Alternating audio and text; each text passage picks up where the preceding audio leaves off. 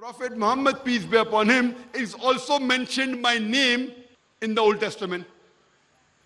It's mentioned in the Song of Solomon, chapter number 5, verse number 16. In Hebrew, I will say, it says, Hikko mamitakim vikullu Muhammadim zaidudi zairai baina Jerusalem. He is most sweet. He's altogether lovely. He's my beloved. He's my friend, O daughters of Jerusalem. Here, the name of Prophet Muhammad, peace be upon him, is there. It says Muhammadim.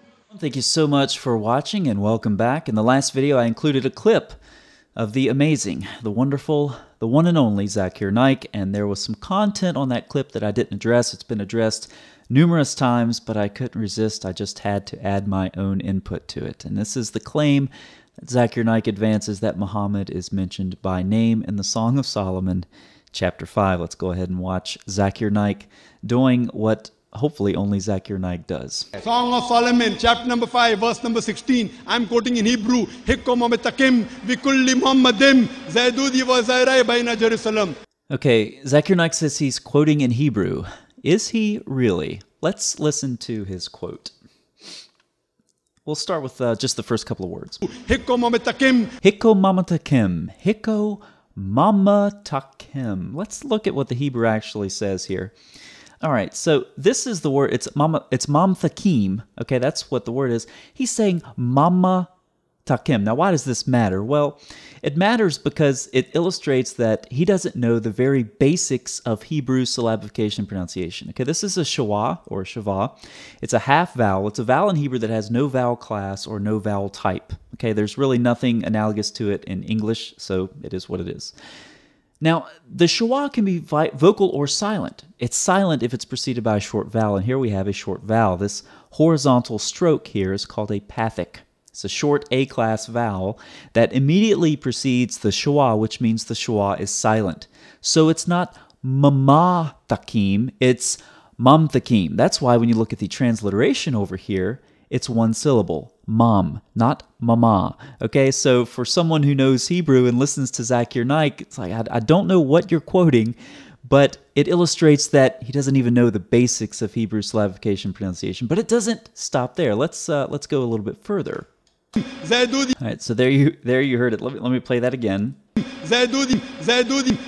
Did you did you hear it that time? Zaydudi. Zaydudi. Okay? Zaydudi. Uh, you you heard it you heard it from Zakir Naik first. This is the word that Zakir Naik is referring to in Hebrew.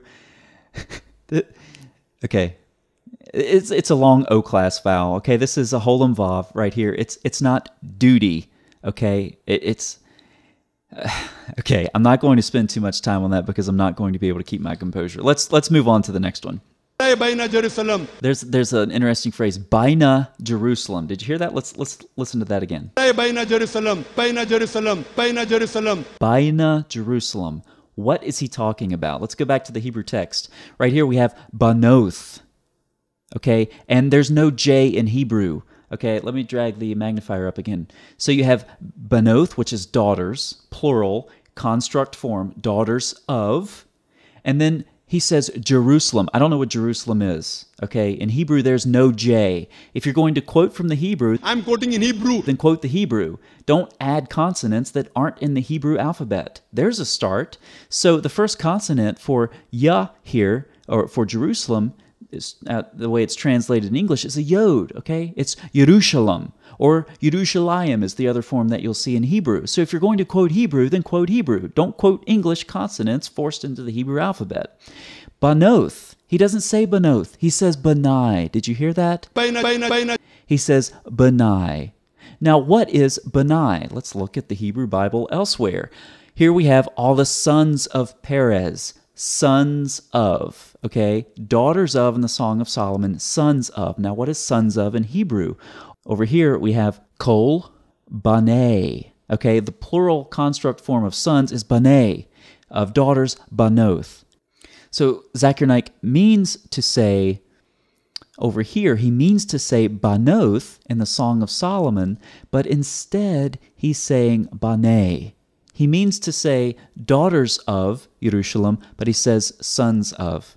So, what do we know from this so far? Well, we know that we're on very good grounds. I mean, for me, I want to learn Hebrew. I want to learn what the Hebrew Bible says from someone who doesn't even know how to pronounce basic Hebrew words. I want to learn Hebrew from someone who doesn't even know basic Hebrew pronunciation and syllabification. That's what I want to do.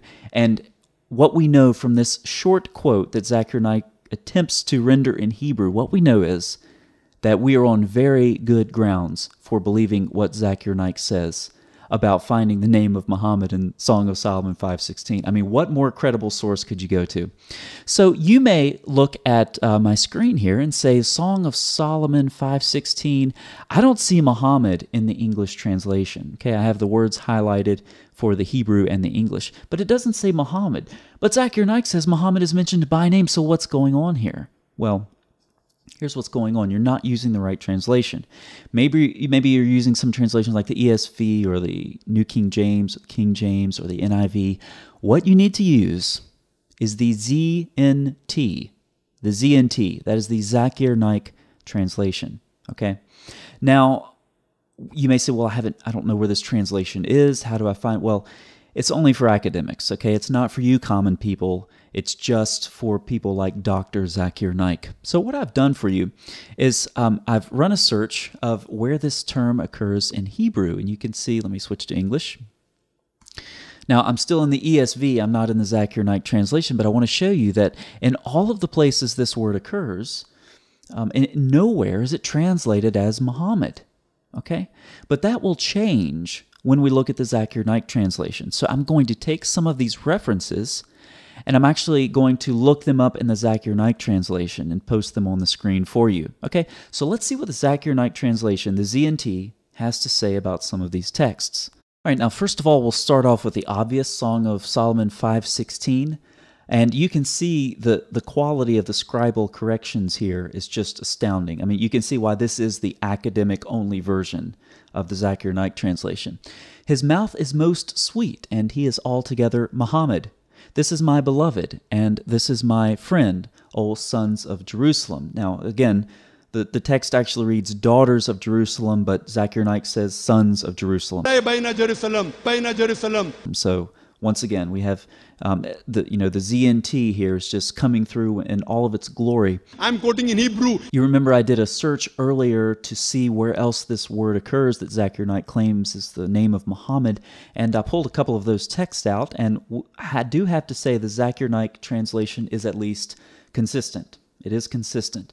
Um, so here are a couple of those references. Second Chronicles 36, and they burned the house of God and broke down the wall of Jerusalem and burned all its palaces with fire and destroyed all its Muhammad vessels.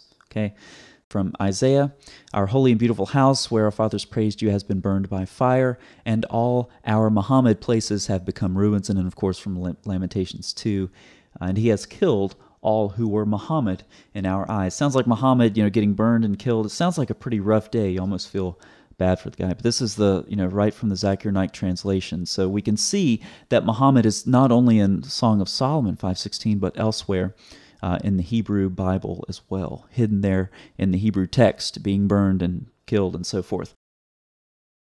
Have you ever wondered why there are so many ahadith which testify to Muhammad's engraved ring? Have you ever wondered why in the Quran it said that Solomon was given the power to control the wind? Have you ever wondered why Muhammad thought that some dogs were the shaitan? And after you're finished laughing at the story where a rock runs off with Moses' clothes, have you ever wondered what the source for that story is? Have you ever wondered why the story of Adam and Iblis in the Quran sounds so much like pre existing legend? We'll be looking at possible answers to these questions and more as we continue a source critical journey into the primary texts of Islam and the connections between them and tales of mysticism, memoirs of magic, and the folklore of antiquity. I hope you'll join us on my channel for what will no doubt continue to be a fascinating journey through the tales of the ancients.